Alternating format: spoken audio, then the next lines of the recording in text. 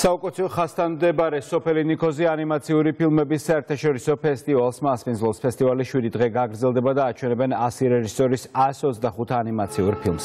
ფესტივალი მეუფე ისაიას ინიციატივით 2011 წელს დაარსდა და ისწრებია მსოფლიოს თანამედროვე ანიმაციური ფილმების ავტორებს და კინოს მოყვარულებს აერთიანებს.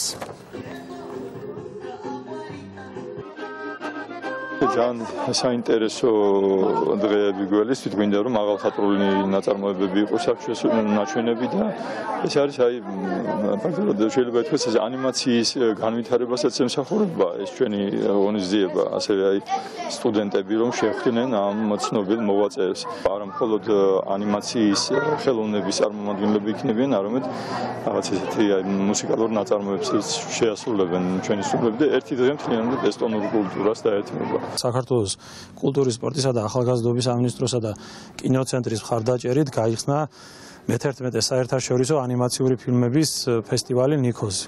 აღნიშნული ფესტივალი 2011 წლიდან აქტიურად ტარდება ამ რეგიონში მეუფე ესაიას ინიციატივითა და მისი ორგანიზატორობით.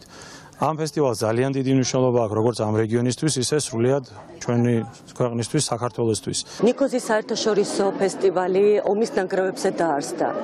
მან გადალახა უამრავი წინაღობა ოკუპაციის თამდე ძალიან მძიმე პირობებში და საქართველოს ფარგლებს გარეთ გაერთიანა საერთაშორისო დონის ხელოვანები, რომლებიც უკვე 11 წელია სოფელ ნიკოზიდან უერთდებიან ჩვენ საზოგადოებასთან ერთად იმ სულისკვეთებით გაჯერებულ ძალიან ძლიერ სამშვიდობო გზავნილს რომლითაც საქართველოს ხელისუფლება ახორციელებს შერიგების პოლიტიკას და სამშვიდობო ინიციატივებს.